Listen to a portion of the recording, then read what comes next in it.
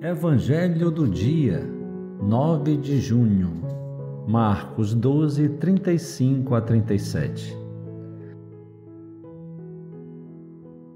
Então Jesus tomou a palavra e ensinava no templo.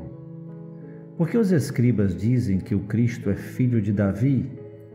O próprio Davi, movido pelo Espírito Santo, falou: Disse o Senhor ao meu Senhor: Senta-te à minha direita, até que eu ponha teus inimigos debaixo dos teus pés. Se o próprio Davi o chama de Senhor, como então ele pode ser seu filho?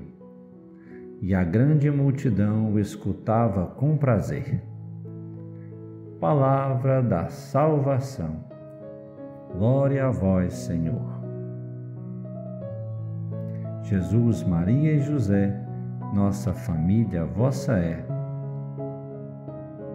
Tudo por Jesus, nada sem Maria.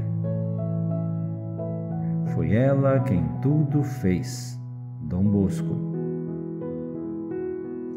Iluminai, Pai,